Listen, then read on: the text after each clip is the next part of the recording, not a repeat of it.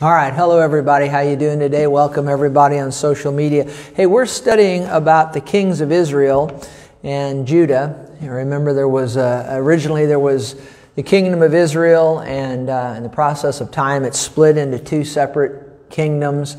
Uh, and one known as Israel in the north, Judah in the south. And we've been looking at the kings of each, kind of studying them concurrently, looking at some kings of Judah and then looking at some kings of Israel.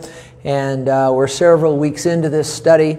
And, uh, uh and, and, so, uh, but, uh, but, but yeah, there were kings of Israel, kings of Judah. We're looking at them, as I said, concurrently. And uh, we can learn a lot of lessons from these kings. And so uh, last week we started with King Asa. Uh, I say we started with, we, we started several weeks ago, but last week, last um, uh, Sunday, we um, began Asa, and he was the third king of Judah. Remember, that was the uh, kingdom in the south. And um, um and so we, we got about halfway through with him. So let me finish him up this morning, and then hopefully we'll get into the next, uh, the next king, which is Ahab, that we want to look. He was in the north in Israel. But Asa, remember when he came to power, he was a good king. And uh, when he took the throne, he uh, instituted a series of spiritual reforms. Actually, his name means healer or reformer. And so he, he began to institute a bunch of uh, spiritual reforms. And he went from town to town throughout the land, removing pagan altars and shrines and prohibiting the sins associated with, with those pagan gods. And he restored proper worship to, to the Lord, to the Lord Jehovah God. And uh, uh, there was great revival. He removed the perverted persons from the land, the sexual, sexually perverse people. He removed them from the land. And he commanded that Judah seek the Lord. And the Bible says that as a result of that, the, uh, the land uh, built and prospered. And, uh, and then we noted last week that uh, there was a massive army that came up against him from Ethiopia. And, uh, and he, he was far outnumbered. Asa was far outnumbered. And in the natural, it looked like they were going to suffer a terrible defeat. But they, they cried out to the Lord. And remember, Asa weighed the, uh, the army that was coming against him, not against himself, but against the Lord. And and that army that was over a million, probably over a million man army that was coming against him, but he weighed that million man army against the Lord. And, uh, and when you weigh something against yourself, you know, you can get discouraged. But whatever you're facing, if you weigh it against the Lord, whatever you're facing is very small compared to God. And he weighed that million man army against the Lord, and, and they sought the Lord, and God gave them a great, great, great, wonderful, wonderful uh, victory. Uh, one of the things he said, he, he said to the Lord, he said, uh, he said, Lord, this is nothing for you. And so no matter what you're facing, it's nothing for God. It may be big to you, but it's nothing for the Lord. And again, the Lord gave them a, vi- a great victory. And as they were returning, now we'll get to the new material, as they were returning victorious from this victory over Ethiopia and this massive army, um, it, again, it was a victory against all odds. But you know, God can give you a victory when all the odds are against you, if you'll seek Him. But this prophet, as they returned, Asa, as they returned from this battle and this great victory, there was a prophet named uh, Azariah. And uh, he took the opportunity to remind Asa and the entire nation that this success had come from the Lord. We need to always remember whenever we experience you know, we cry out to God, we're facing something that's insurmountable, we cry, we cry out to God and He helps us. And we have success. We always need to remember and never forget that it was the Lord that gave us that success. And you'd be surprised how many people, uh, they're, they're in trouble, they seek God, God helps them, and, and they have great victory, and then they forget God. And it happens again and again and again and again. That's a lesson we need to learn that when God gives us victory, don't ever forget where the victory came from. Came from the Lord. And in Second Chronicles chapter 15, verse 1, the Bible says the Spirit of God came on Azariah, and the son of Obed, and he went out and met Asa and said to him, Hear me, Asa, and all Judah and Benjamin. The Lord is with you while you are with him. Well, I mean, that's a good lesson to, to, to get right there. The Lord is with us while we're with Him. If you seek Him, if you seek Him, He will be found by you. But if you forsake Him, He will forsake you. We need to think about that. Uh, if, if we'll seek God, He'll be found by us. If we'll seek Him with our whole heart. But if we forsake Him, He'll forsake us. Now, I don't want to forsake the Lord. But I tell you what, if we do, He'll forsake us. So let's don't ever forget that. And then in verse 3, for, and then he said this, he said, for a long time, see, when Asa came into power, he brought much reform to Judah, as we've already said. And then he says this here, this prophet, the Holy Spirit through this prophet is telling Asa and the people here, for a long time Israel has been without the true God. Now you think about that. Because you know, under those previous kings, there had been much pagan worship and whatnot. Asa brought those reforms. And he said, for a long time, Israel has been without the true God, without a teaching priest, and without law. And I think those are significant. I think we need to think about those. Uh, you know, we don't want to be without the true God, the Father, Son, and the Holy Spirit. But the nation had been without the true God without a teaching priest, and without law, without the law of the Lord, without the Word of God. And I tell you what, when, when you don't have the teaching of the Word of God, you're gonna, you're gonna, you're gonna lose, um, uh, you're to lose the relationship you need to have with the true God, the one true God. I see that here in the United States over the last couple of decades. As you know, since the 1960s, the commandments of the Lord have been thrown out of the public schools.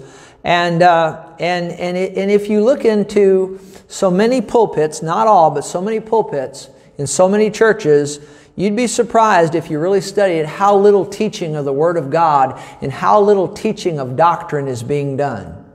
Amen. Very little in this, in this United States, very little teaching, teaching of, of, of the Word of God, you know. And, uh, and I tell you what, without the Word of God, without the law of God, without the commandments of God, and without the teaching, you, you see, men and women of God should stand behind pulpits and not entertain uh, congregations.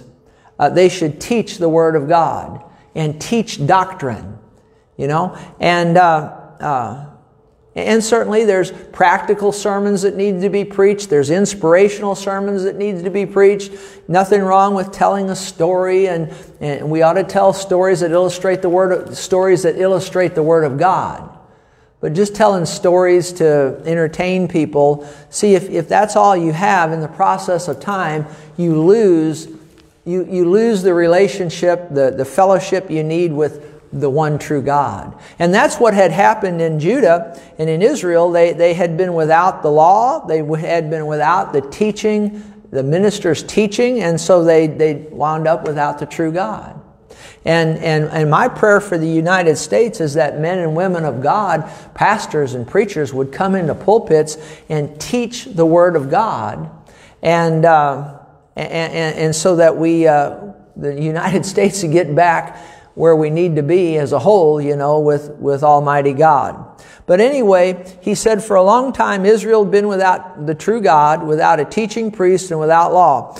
Verse 4 But when in their trouble they turned to the Lord God of Israel and sought him, he was found by them. So, you know, even, even if you get away from the Lord, if you'll have a change of heart and repent, and, and turn back to Him, I tell you what, He's gracious and He's merciful. You know what Second Chronicles, you don't have to turn there, but you ought to have this one memorized. Second Chronicles 7.14, remember says, If my people who are called by my name would humble themselves and pray and seek my face and turn from their wicked ways, then I'll hear from heaven, forgive their sin and heal their land. So don't ever forget that verse. And even if you do get away from the Lord, if you repent, and, and, and confess your sins and get back to Him, He'll receive you back and He'll heal you and help you, you see. And that's true uh, for a nation, it's true for an individual, you see. Anyway, verse 7 Then He said this, But you be strong and do not let your hands be weak. So that's good advice for all of us. Let's be strong and don't let our hands be weak, for your work shall be rewarded. And I tell you what, any work that you do for the Lord will eventually be rewarded. It may not be rewarded in a day, in a, in a week, in a month, or a year, but eventually, if you'll be faithful to the Lord, He'll bless the work of your hand. He really will. And then verse 8 said, When Asa heard these words, and the prophecy, you know, from this prophet, he took courage and removed, then notice what happened, and removed the abominable, abominable idols from all the land of Judah and Benjamin and from the cities which he had taken in the mountains of Ephraim, and he restored the altar of the Lord that was before the vestibule of the Lord. See, there was further reform. Now, after this great victory against Ethiopia, and the Holy Spirit spoke to him, he then continued with his reform and continued to, uh, to, to wipe out idols in the land and, and so on and so forth. And then verse 12 says, Then they entered, this is Judah here, they entered into a covenant to seek the Lord God of their fathers with all their heart, with all their soul. And uh, whoever would not seek the Lord God of Israel was put to death. Now you think about that. That's how serious Asa was about this nation is going to serve, this nation of Judah is going to serve God. And anybody who isn't going to serve God, what did the Bible say would be put to death? That's pretty serious, isn't it? Yeah. He said, whether small or great, whether man or woman.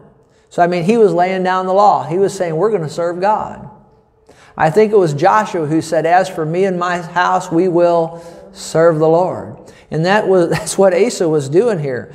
And uh, you're not going to serve Almighty God, he, capital punishment. You say that's pretty tough. Well, it is, but that's what he did. And look at the blessing that came as a result of it. Look at the blessing that came as a result of doing away with idols. Look at the blessing that came with doing away with uh, uh, sexual perversion. It brought great blessing and peace to the land. And uh, notice uh, verse 15 says, And all Judah rejoiced at the oath, for they had sworn with all their heart and sought God with all their soul, and he was found by them, and the Lord gave them rest all around. See, that's what happens when when when uh, and that's what you could see that in the United States. I'm not, you know I'm not advocating putting putting people to, to death or anything. That's what they did here. But uh, I tell you what, if, if if this nation would get serious about seeking the Lord and and doing away with sin, you would see rest in this nation like you've never seen. You'd see peace in this nation like you'd never seen if God was put first and, and all the sexual perversion and all the idolatry and everything was done away with. You, you would see rest in this nation like you've never seen since, since its inception, you know. Uh, but, you know, uh, uh, Pastor Terry, do you think we'll ever see that? Well, I, I, to be honest with you, I'd be shocked if we ever did. But, you know, we'll just, we'll just see. Anyway, um, but if you go down to verse 16, then there's something else that shows us just how serious Asa was about, uh, about bringing righteousness to the nation, is he did something to his grandmother. Now the Bible calls, uh, calls it his, his, his mother, but it was actually his grandmother. Look at verse 16. Also he, Asa, removed Mac, I, I guess you say that Maacah, however you say that, his, uh, the mother of Asa actually was his grandmother, uh, he, he removed her from being the queen mother. Now, why did he do it? Because she made an obscene image of Asherah, which was a, a, a an idol, a, a, false god. But she'd made uh, an obscene image of this Asherah, and Asa cut down her obscene image, then crushed and burned it by the, by the brook Kidron. I mean, he's serious about this nation's going to live holy if you do that to your grandmother. I'm sure he loved his grandmother, but he wasn't going to uh, uh, tolerate her idolatry. And, uh, but, but then it says the high places were not removed from Israel. See, he got most of the idolatry out of it, but he, he, he wasn't able to get all of it out, but he got a lot of it out. Nevertheless, the heart of Asa was loyal all his days. I mean, you got to be pretty serious if you're going to cut down your mother your grandmother's uh, uh, uh, idol, you know, but he, he was serious. It didn't matter if it was his grandmother, who it was, you know, he was to bring holiness and righteousness to this nation. And then in verse 19 says, There was no war until the 35th year of his reign. So they had a lot of peace in the land as a result of, of the, these reforms that he made. Now it's interesting, in the 36th year of his reign, Baasha, the king of Israel, now you need to remember that Israel and Judah would, would have some, they'd have some warring going on between them, quite a bit of it actually. And uh, sometimes there'd be some peace, but, but, but, but war between the two, Israel and Judah. But notice the, uh, Baasha, Baasha, the king of Israel, now listen to this, came against Asa, something very interesting, and you can read the details in Second Chronicles 16, so you could read that whole chapter. But here's what happened.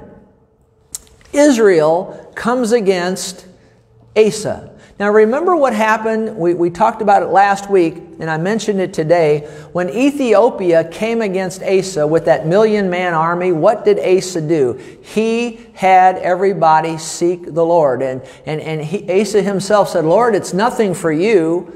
To, to, it's nothing for you to give us victory over this million man army. You know, it's nothing for you. And God gave him great victory. But now, Baasha, the king of Israel, is coming against him.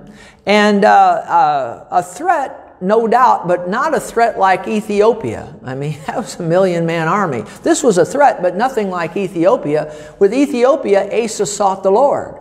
But notice what he does here. It, it, it's interesting here, if you, if you read the story, what he does is he hires the king of Syria, instead of seeking the Lord, he hires Ben Hadad, the king of Syria, and paid him a large sum of money to help him in this battle against Israel. Now you think about that. And, and, uh, Ben Hadad, the king of Syria, was an enemy. He was like a type of the devil. Now just think about, just think about here's a man, I, I, want to reiterate this. Here's a man who has a million man army coming against him sometime earlier, and he seeks the Lord, and the Lord gives him great victory. And now he has a threat, but it's much less of a threat. And now he's not going to seek the Lord, he's going to hire the devil to help him. Now you think about it. Why, why would a man do that? I, I don't know. I mean, we need to learn from him though. Let's don't do what he did here. Let's do what he did when he was facing Ethiopia. Let's seek the Lord. But, but see, I'm teaching on this so that we can learn these lessons from these kings so that we can do the things that they did right, not do the things that they, that, that they did wrong. And this is something that he shouldn't have done. And he hired the king of Syria to help him against Israel. He shouldn't have done that. How many of you want to hire the devil to help you? I, I, I, don't, but that's what he did. And, and it's interesting, God had a prophet come to him. And you know, this is something I don't want you to miss. Again and again, you'll see in this series, you've already seen it, uh, uh, but, but you'll see it as we go.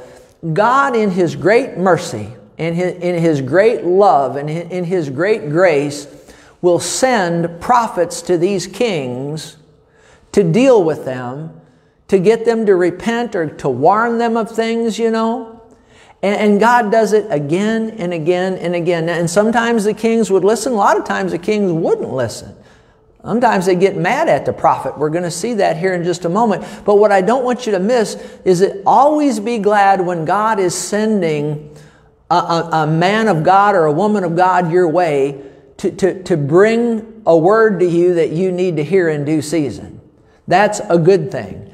And God does that. That's one of His MOs, methods of operation. Uh, uh, you know, he'll, he'll send people to you. He'll send messages to you. He'll have a pastor stand in a pulpit and preach a, preach a word to you that you need to hear in due season. And God does it again and again with these kings. Isn't, I mean, God is really, really good. He's really, really, really, really good and merciful. But anyway, so Asa, uh, he hired Ben Hadad, and then Hanani, I guess that's how you say that. Second Chronicles 16 verse 7. Second Chronicles 16 verse 7. Hanani, the seer or the prophet, came to Asa, the king of Judah, and said, Because you have relied on the king of Syria and not relied on the Lord your God, therefore the army of the king of Syria has escaped from your hand. And then he says, Were the Ethiopians and the Libyans not a huge army with, with very many chariots and horsemen? Yet because you relied on the Lord, he delivered them into your hand. For the eyes of the Lord run to and fro throughout the whole earth to show himself strong on behalf of those whose heart is loyal to him. Have you ever heard that verse before? And, and then he, the prophet says to him, This is God speaking to him through the prophet. In this you have done foolishly. What's that? In, in hiring Ben Hadad, seeking help from the enemy. You've done foolishly. Now, now if, if, if a minister came and said to you, You've done foolishly, you, you, you, you, you, you did a dumb thing. I wonder how many of you all would get mad at that preacher for telling you that. You know, I tell you what, most people I've dealt with in 27 years, if I told that to them, they'd get mad at me. Even if I was speaking by the Spirit of God and told them that privately, they get mad and leave.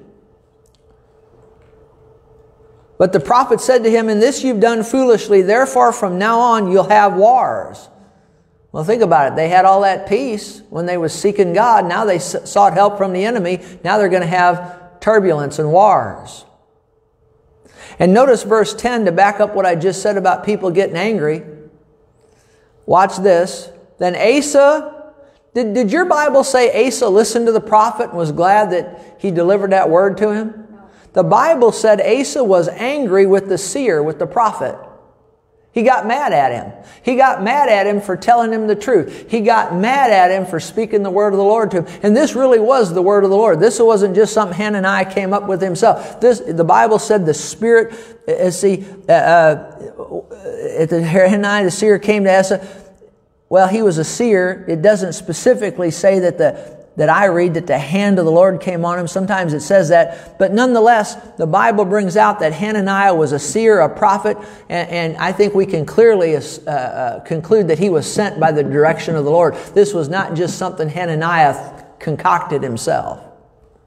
I mean, if, if a man of God concocts something himself and tells you something because he's being a jerk or whatever, I can see where you'd get angry with it. But if a man of God is standing in humility, and like Hananiah, and he's sent, he's a seer, he's sent by the hand of God, by the direction of the Lord, and gives you what you need to hear, you ought to receive it and make the correction, you see. But, but, but Asa was angry with the seer.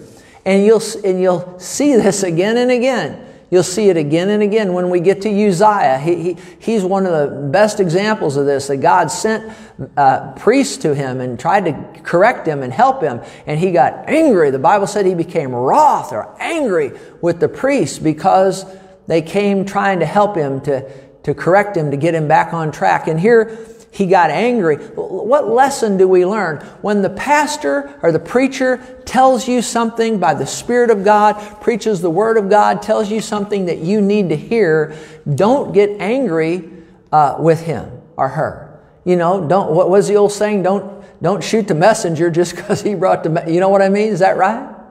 You know, don't get angry at the preacher. If he's really in a humble heart coming with the word of the Lord, you know, and, and, not trying to embarrass you or nothing like that, but trying to help you and correct you. You know, uh, don't get mad at him. Be glad that God loves you enough to chasten you. You know, the Bible says if we're out, if we're out, if we're without chastisement, then we're illegitimate, not even children of God. You know, so be glad. The Bible says, as many as the Lord loves, He rebukes and chastens, you know. So be glad when God's correcting you, and many times He'll do it through a, like a pastor standing preaching a message. I can't tell you how many times in 27 years I've stood here and I've humbly, lovingly preached a message and it stepped on people's toes. I didn't even know it was stepping on their toes. I didn't even know they were doing certain things that, but you know, the Lord will get the pastor off on some things once in a while, you know, and He'll get over. I would never go to a church. If you're, if you're going to a church where the pastor is never preaching messages that steps on your toes, you're in the wrong church. I said, you're in the wrong church. Because if you're really in the church that God wants you to be in, there's going to be some times when the pastor will will step on your toes. And most time he won't even know he's doing it. He's just up there preaching away, you know. And, and, and, and, so forth. You understand what I'm saying? I'm not talking about he calls you out of the crowd and embarrasses you. I'm not talking about that. I'm just, so many times I've been up over 27 years just teaching, just minding my own business, just teaching, you know. Sometimes the Lord might have me get off on something, you know, and I just, I don't even know why I got off on it, you know, and, and then just go right back, just teaching right away, you know. And, and again and again and again over 27 years, dozens and dozens and dozens of people get angry, mad as a wet hornet, and leave. Just absolutely leave. Just, just, just absolutely leave. Absolutely. Uh, I remember one time years ago, I, I came up into the pulpit minding my own business, had a message, started preaching, and somehow or another I got off over on, uh, on, on, uh, I, and I don't even know why I did it. I, well, I just leading to the Lord. I just, and I said, I made the statement, I said, uh, I said, you know, uh, and I didn't know what was going on with people in the congregation, sir, a couple hundred people, you know, at that time. And I said, uh, I said, now, you know, you need to find out who your pastor is, where your church is. You need to seek the Lord, and you need to hook in there and be planted in there and nothing wrong with visiting once in a while, another church, nothing wrong with that. But, but you need to find, you, did you know most people don't seek the Lord concerning where they're supposed to go to the church? They just go wherever they, it makes them feel good or their friends are going. Or do you know your friend won't have, your friend's pastor won't have the Word of God for you? Your pastor will. You need to find, you know, on a weekly basis, you know. You need to, I've had so many people leave here, uh, walk out as I'm greeting them at the door and say, Pastor, how did you know I need to preach that? how did you know I needed to hear that today? How did you know I need to hear that today? How did you know I need to hear that today? I mean, hundreds of them over, over the, the, the, the many years. And you know why, you, you know, I, you know why they're saying that? Because they're in the right church. They're where they're supposed to be. And, and, and God's flowing through to them what they need, what they need to hear, you see. Pastor, how did you know I need to hear that? How did you know I need to hear that? See, that's one way you can tell you're in the right spot. But uh, I got up and I said, you know, you need to find, you need to seek the Lord, find out where He wants you to go, and, and God will have one church for you and He'll have one pastor for you at a, at a time. Now, there's times where he may change that over the years, you know, and, and move you to another church. He might do that. But I got, I was just up here preaching and I said that God will have one pastor for you in one church. I said you need, you need to hook in there. Nothing wrong with visiting now and then. But I said, uh, another church, I said you need to hook in there and be there and be faithful there. And I said, because if you get to go into two churches and you get to go into two churches regularly, it's going to mess you up spiritually because you'll get two visions going going on on the inside of you. You'll get the, the one vision of the one church, you get the other vision of the other church, and, and wherever there's, uh, one guy wrote a book or something said two, two visions equal division. I said you get divisions going, division going on, you get torn between the two, you won't be able to be loyal to the one. You, you understand? And I said something along those lines. And then I just went right on with my teaching.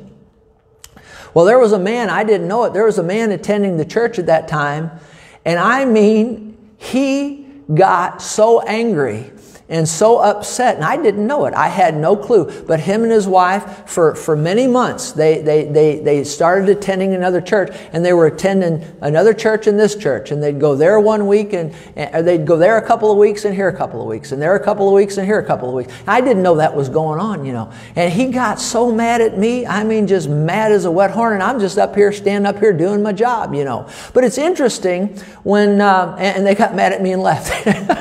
But the thing of it is, see, is, uh, uh, uh, and, and, and Anyway, but the thing of it is, is that when, when God brings correction to you, don't get angry at the Lord. Don't get angry at the man bringing the, the correction. Be thankful God loves you enough to correct you and keep you on, on track. Are, are you okay with that? You know? You, you see? But he got angry with the seer, and look at this he got angry with the preacher and put him in prison. Now, I've never been put in prison. I think some people would have liked to put me in prison over the years, but I've never been put in prison. For he was enraged at him because of this. And Asa oppressed some of the people at that time. He got mad at some of the people. He was just mad. He got mad, you know. So here's a good king. The Bible calls him a good king. But uh, but but he he he uh, was having a bad season in his life. Have you ever had a bad season in your life? You know, and, and he just he just was. He got angry at the at the preacher, got angry at the prophet, put him in prison, angry at the people, and he shouldn't have done that. So let's learn a lesson from Asa and don't do that. Let's don't hire the enemy and let's don't get mad at, at, at God or the preacher or, you know, when, when we're corrected, all right? You know?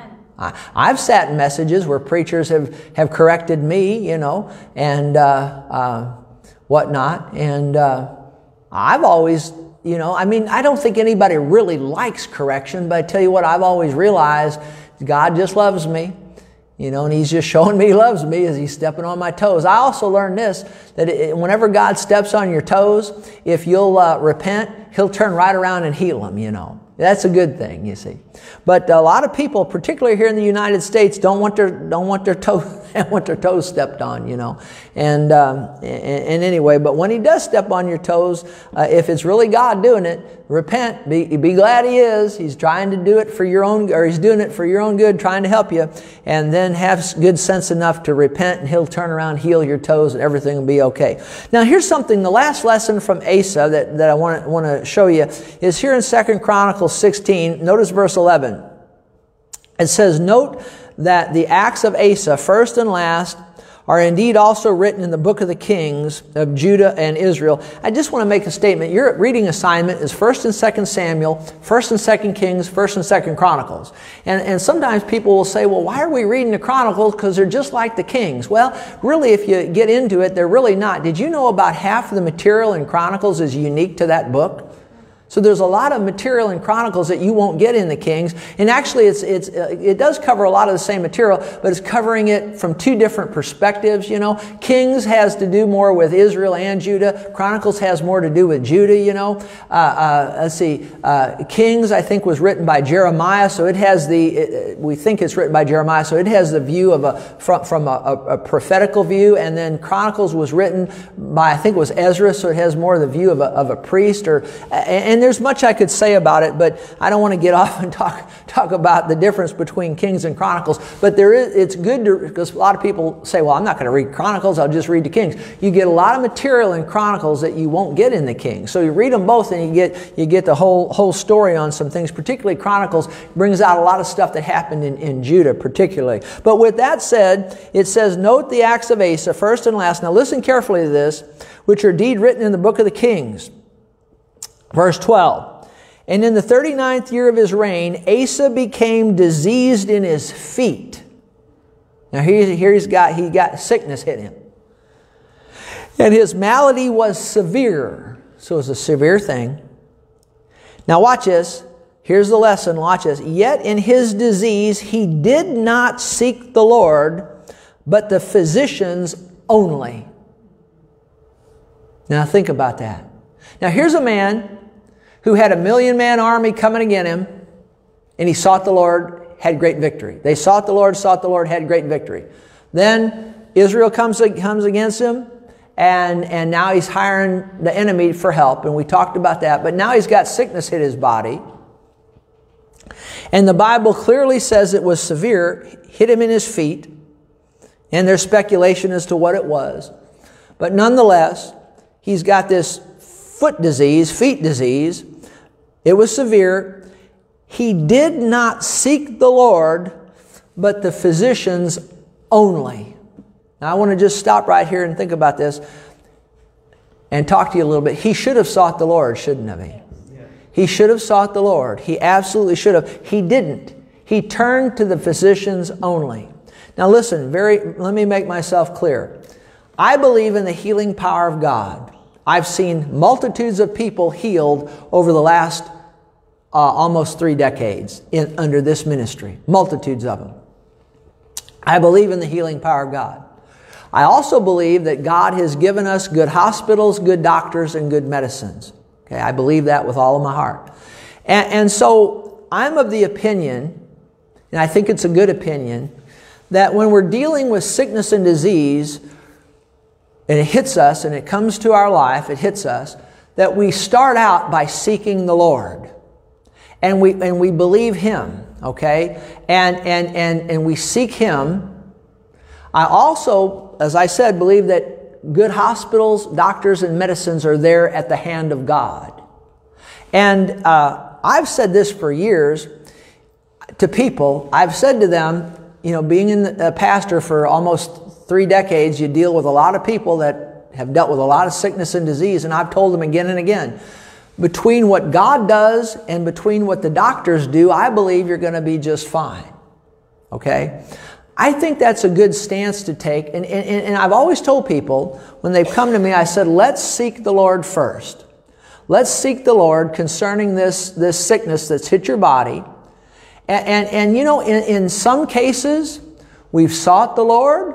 We've laid hands upon them in the name of the Lord Jesus Christ. The healing power of God hit their body. They were healed, some of them instantly, some of them process of time, and never had to turn to the doctors. Okay? There's, there's been other situations where people have come and, and we've sought the Lord and, and, and, and we could see that we, we're just that wasn't going to be able to, to receive for whatever reason, just directly the power of God hitting the body and being healed. But, but the people would have faith that, that, that God would use the doctors and the medical system to, to, get, to get their healing. And so we've gone that route. We've seen a lot of people get healed that way that, that you know, they entered the hospital or they went for the operation and we did so. We, we had the foundation of prayer underneath that. And again and again, people have gone into the operation and they've come out of the operation. It was a total success. And the doctor said, man, they recovered, you, you recovered quicker than, than we've ever seen anybody recover. But you see, it, it, we sought the Lord first and then we turned to the doctors, you see. You understand what I'm saying? And that's, that's a good balance to have. And, uh, but, but you don't ever want to just, and not one time have I ever told anybody, let's just immediately turn to the doctors. Let's turn to God first, right? Let's turn to God first. And, and and, and then let's be led of the Spirit of God. And, and many times He'll lead you to go to the doctor. He'll lead, and y'all, we all ought to go to the doctors on a regular basis and have annual checkups and all of that. I think we're unwise if we don't, you know. But, but, but a lot of times He'll lead, and many multitudes of people, He's, He's led us to, okay, let's go to the doctor and let's get, get the help from the doctor. And there's nothing wrong with that. You know, it's unfortunate that that that that in the in the in the uh, word of faith circles, you know, I don't know if you know what I mean by that, but it's unfortunate that sometimes people are made to feel less or inferior because they went to the doctor. And, and I tell you what, I, I, personally feel that if you take the position of, I'm never going to use doctors no matter what, I'm just going to use God and trust Him, and I'm never going to turn to the doctors, I tell you what, there's been a lot of people that have died doing that. I, I, I think of uh, one story I'm thinking of, of, of, that a minister friend of mine told me that a woman, she, she discovered, uh, this wasn't here in this church, but he was telling me that. Uh, uh, he, he said that uh, there was a, a, woman in this certain pastor's church and she, she felt a lump in her breast and she uh, was not going to turn to the doctor. No, I'm going to believe God, going to believe God, going to believe God, just going to believe God, not going to, not going to, just going to believe God. And long story short, the thing kept getting bigger and bigger and bigger and bigger. And then finally, when she did go to the doctors and they, they did the mammogram and the, all of the ultrasound, and it was, a, it was a malignant tumor, and they told her, if you had come, you know, six, eight months ago, whatever it was, we could have helped you. But now we can't. And, and she wound up dying. I think we make a mistake if we're going to say, well, I'm just going to believe God and not ever open myself up to doctors at all. I think we make a mistake because I think God has provided good hospitals, doctors, and medicines. We live in a very blessed time, ladies and gentlemen. We really do. We, we really do. And, and so I think if we say, well, we're just going to turn to God and never the doctors, I think we, we make a mistake there. But I think we make an even bigger mistake if we say, I'm just going to go to the doctors and I'm not going to consult God at all. I think that's a bigger mistake. Don't you? So I think what we do is, is when sickness would hit our body, is now what did Asa do? He just turned to the doctors. Did you know that, that he didn't seek the Lord? Do you know there's a lot of things the doctors can't help you with? Did you know that? I mean, we live in a wonderful day and the medical science is wonderful, but there's a lot of things the doctors can't help you with. And by the way, I'm aware of some emergency rooms, and I won't call, won't call any names, but I'm aware of some emergency rooms that if you have an emergency and you go to that emergency room, you're going to have a double emergency because they're not very good. And, you and if the disease don't kill you, the people there will. Now, I don't mean that ugly, but I mean There's some that, but I, I, would say probably most emergency rooms, you know, are, are, are probably very well, uh, very good. I'm familiar with maybe one of them that you wouldn't want to go to because you'd have a double emergency. And there's a, there's some nurses I saw there at that one. I'm not going to let them. I don't want them to put a shot needle in my arm. You know, I mean, just, you, liable to kill you. You know what I'm talking about? How many knows what I'm talking about? But, but. Uh, but we live in a very wonderful, wonderful day. But I tell you what, if all you do is turn to the doctors and, and, and, and like Asa did, and you never turn to God, listen, there's lots of things the doctors can help you with, but there's a lot of things they can't. You understand that? And so, so Asa got it wrong here. He just turned to the doctors. And the Bible says he sought the, only the physicians, and I believe it cost him. And eventually he died. Sad, isn't it? Yep. Don't you think if he'd have sought God, God would have helped him? Yep. Absolutely. But he didn't seek the Lord. And so, my, to sum it up, with sickness and disease, let's seek the Lord. If sickness hits your body, let's seek the Lord. Let, and, and I tell you what, let me make myself clear. If something hits your body, like a lump in the breast or something like that, and you know, it's, it, you understand, I mean, you seek the Lord, but you need to go.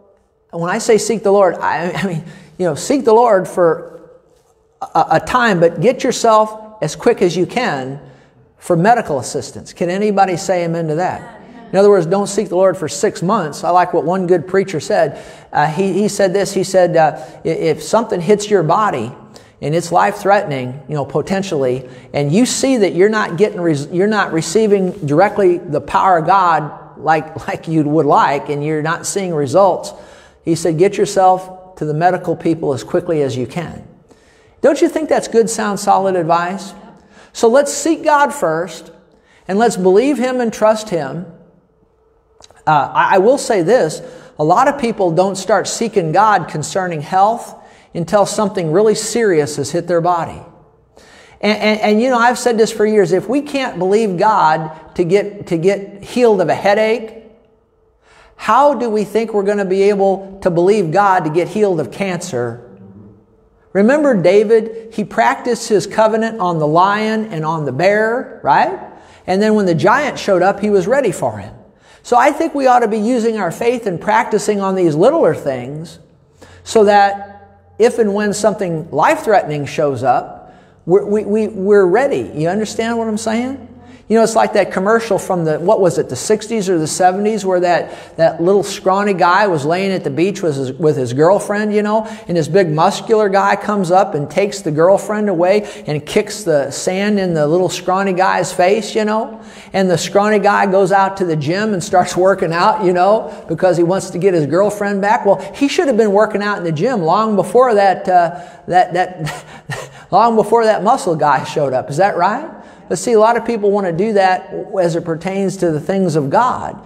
You know, they wait till the big serious thing comes up, you know, and, uh, and then they, uh, then they want to believe God then. Well, why don't we believe Him on these smaller issues, you know? Uh, I remember a, a, minister years ago, I was at a pastor's uh, uh, convention our pastor seminar, and there was probably about 60 pastors there, you know, and, and they had this one speaker up, and he was a, a pastor in the region, and, and, and, and uh, uh, he had heard that some of the pastors were going to use their faith and they were not going to carry health insurance. And so, then that was kind of the thing going on among some of the pastors, a few of them, that they were going to just believe God and not have any health insurance at all. We're just going to believe God. And that's what some of the pastors were, because I had heard some of them talking about that. Well, this kind of elder minister got up and he made the statement. He said, I understand some of you, uh, you know, he just, God bless him, he just confronted it. He said, I believe, he said, I heard some of you don't want to, uh, uh, aren't going to get health insurance because you're going to just bless God, believe God. And uh, he said, he said, uh, he said, now which would be easier? To believe God for, now things have changed in the premiums now. How many of you know health insurance premiums are really high? But back there then, when he was making this statement, you could get a real good health insurance policy for, you know, I don't know, a, a reasonable amount of money. Things have gotten out of control over the last couple of decades. But this goes back probably 30 years ago. And he said to the ministers, he said, he said, Don't you think it would be easier to believe God for a $70 a month health insurance premium? He said, Don't you think it would be easier to do that than to wait until you have to have a major surgery and you're facing a, a, a $1.5 million health bill? And then you're going to try to believe God for 1.5 million? He said, wouldn't it be easier just to believe God for $70 a month? And then if the big thing hits, then, uh, you know, and you had to have that surgery, then you'd have the insurance to pay the 1.5 million, you see. Don't you see that's wisdom, isn't it? Yeah. yeah. I mean, if you can't believe God for $70 a month, or whatever, whatever the amount is back there then, I mean, how do you think you're going to be able all of a sudden believe God to believe God miraculously for one for over a million dollars? And you know what? Guess what? It goes right along with my message here. A lot of those pastors, you know what they did? They got mad at that guy for saying that and didn't come back. didn't want to receive any kind of correction. Well, I, I, had a good health insurance policy at that time, so that didn't apply to me, but I would have had one anyway because I, at that time I was still teaching school and I had a health policy, but, uh, but, uh, but I'd have one. I still have one. I've carried one all these years. And over the last couple, many years, they've gotten out of control, you know, and you're paying astronomical amounts of money for, for all, for, you know, terrible coverage, you know, and if something does go wrong, you got to pay like $8,000 before you, before the insurance kicks in, you know, that's not right, is it? No, it's not. But anyway, that this happened about 30 years ago when he made that statement. And uh, but it's really true. If we can't believe God for the smaller things, why do we think we're going to all, all, all, we're going to be able to believe Him for the big stuff? And uh, but anyway, so if sickness hits your body, seek the Lord. Seek the Lord. Find out from God what He wants you to do. Seek the Lord. And then, you know, you might be able to just receive, receive from God your healing. Wouldn't that be wonderful? Isn't that wonderful? But nothing wrong with, with the doctors. And I want to say it again, many times God has led us as we've counseled people. Let's, let's turn to the doctors and the hospitals. And, and I've, I've talked to many people. I've asked them, do you believe God can just, can just, just, do you believe God will just heal you right here? Can you, re, let me phrase it right. Do you, can, do you believe you can receive from God right now, right here on the spot? And again and again, they'll, they'll, they'll stutter at that. But then I'll say to them, do you believe that if we turn to the doctors that they can help you and God working with them. And, and people say, yeah, I believe that. Well, see, that's the avenue you need to take. See, God will meet you where your faith is, you see. Do you understand what I'm saying? And so I learned early on, you know, when I'm dealing with people in the ministry as a pastor, if, if I ask them, do you believe that you, now how many of you know God wants to heal everybody? How many of you know He can heal everybody? How many of you know He's provided that in the atonement and, and in what Jesus did at, at Calvary? And, and so healing's available for everybody. But did you know not everybody is on a level of faith to receive that? And I've dealt with so many people. I said, Do you believe that you can just receive from God right here, right now to be instantly healed? And well, well, and I say, okay, I don't put them down. I say, but hey, do you believe that, that if we turn to the hospitals, that God can use the doctors and the medicines to help you? And they'll say, yeah, Pastor, I can believe that. So then I learned early on, that's the route we take, you see. But I'm never going to tell people, just believe God, period, and don't turn to the doctors. I'm not going to say that to people. Nor am I going to say, well, go to the doctor immediately and don't seek God. What do we do? We seek the Lord. We, if we could receive from Him right on the spot, that's wonderful. But if we see we're not, we're not getting results right away, it's not God holding out. It's not, the problem's not on His end, it'd be on our end. Is that right? But if we see we're not making, getting results as we should, then let's turn to the, turn to, turn to the doctors and, and, and, uh, and let, let God, uh, between what God does and the doctors do, we can, we can go free. Amen, you see. And again, there are some things where uh, doctors just can't help you, and we need. I mean, we know we need God, don't we? We sure do. But don't do what Asa did because he turned just to the doctors and, and it cost him. Was that that was worth coming just to, to hear that, wasn't it? And uh, so anyway, verse 13, Asa died and he was buried and so on and so forth. You can read the rest of that. And so let me just finish by reading my notes here. Asa so Asa was a good king. He did right in, in the eyes of the Lord. Unfortunately, there were, the, there were those two events as he was older, as he got up in years. What have I warned you again and again? As we get older, chronologically, we need to be sure that our hearts do not become hardened towards God. We see that again and again with some of these kings.